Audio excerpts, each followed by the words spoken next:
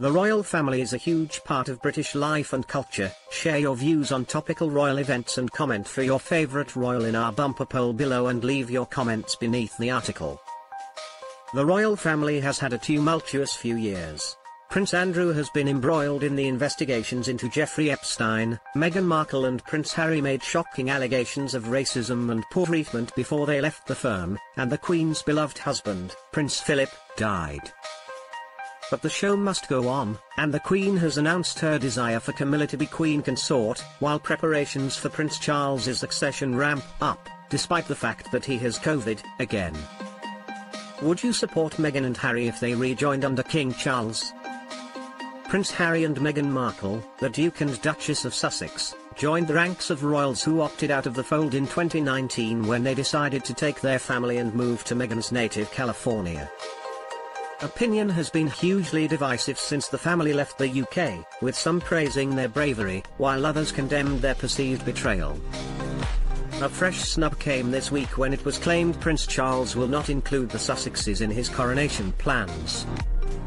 A source told the Mail on Sunday the Prince of Wales was aiming for a smaller ceremony and said Meghan and Harry weren't expected to be part of it.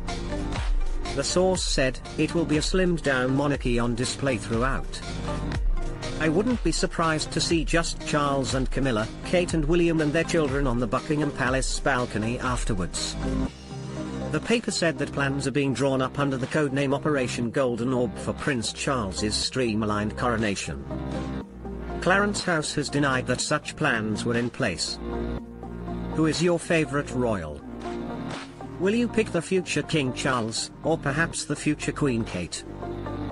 Perhaps you'll stick with everyone's eternal favorite, the Queen? It's hard to choose a favorite, but after you've voted, let us know why in the comments below. Will you read Prince Harry's memoir? Claims are emerging that Prince Harry's memoir, due to be published in late 2022, will shake the monarchy to its core. After the Oprah interview fallout, the royal publicity team will be getting nervous about what the loose cannon Duke might say. According to the Mail Online, friends of Harry, 37, have warned his book is no holds barred, and could be particularly harsh towards his stepmother, Camilla. Harry has collaborated on the book with Pulitzer-winning ghostwriter Junior Moehringer. His publishers have described it as the definitive account of the experiences, adventures, losses, and life lessons that have helped shape him the Queen, Prince Charles and Prince William are said to have been completely blindsided by Harry's announcement that he has been secretly working memoir for more than a year now. His friends told The Mirror, if they think he's gone soft, they are mistaken. Just wait for the book to come out because that will shake the monarchy to the core.